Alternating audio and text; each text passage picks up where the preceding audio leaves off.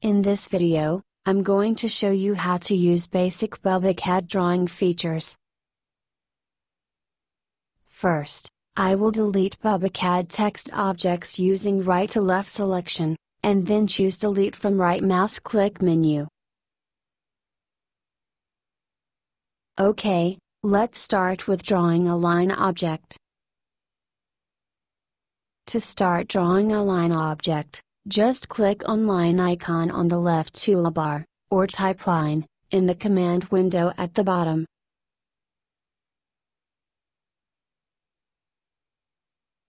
To finish any command, you can press escape key or click right mouse button and choose an option from menu window. Here, I will press escape key to finish line command. Next, move pointer around the line and click with left mouse button to select the line object. As you can see, when object is selected, its grip points will be shown. For line object, we have a 2 inch points, and one middle point. We can move pointer close to grip point, and we will notice how it will snap to exact point location.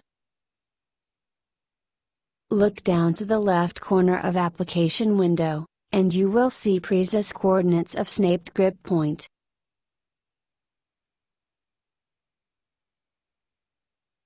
Now, I'm going to draw other primitive objects, like circle and arc. Click on circle icon in the drawing toolbar to draw a circle you will be prompted to specify the center of circle object. We can enter the precise coordinates in the command window, or we can just specify point by clicking in workspace.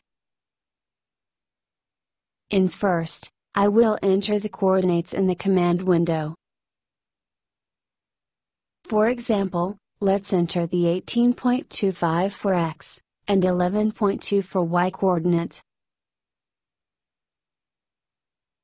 You must press enter on the end to finish the input. Now, we need to specify the circle radius. I will enter the value of 10. Move around circle and click with left mouse button to select the circle object.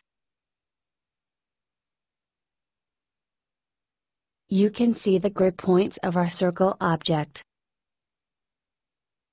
We have a 4 quadrant points and one center grip point of the circle.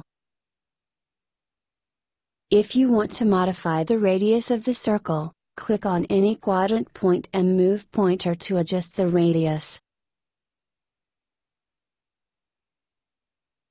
Also, we can modify any object's parameters in the property window, which is located at the left.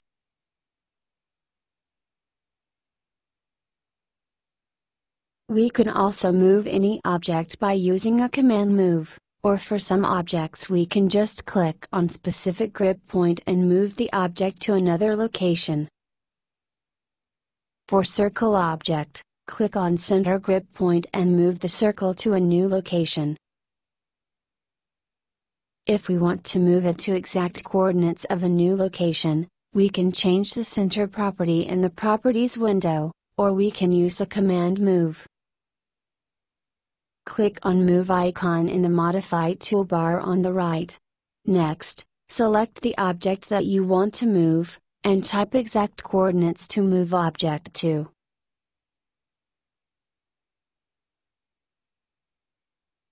To deselect objects, Press Escape key on keyboard, or click right mouse button and choose Deselect.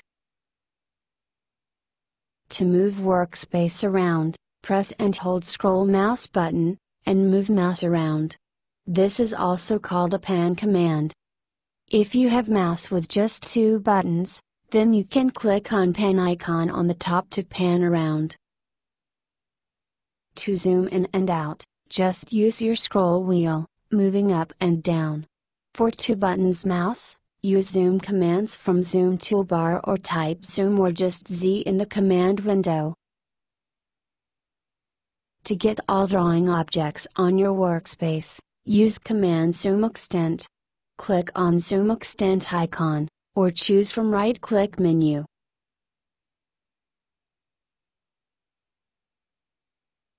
Let's draw an arc object. Click on Arc icon in the drawing toolbar or type Arc in the command window. Look at the command window. We are prompted to specify start point of the arc or we have option to specify center of the arc. We can see options closed in brackets. I will choose to draw from start point, so I'm going to specify start point. Next, we have to specify second point of the arc. To finish, I will specify the end point of the arc. We can select and modify the arc object as any other object. Click to select, then pick a grip point and move to change a shape of arc object.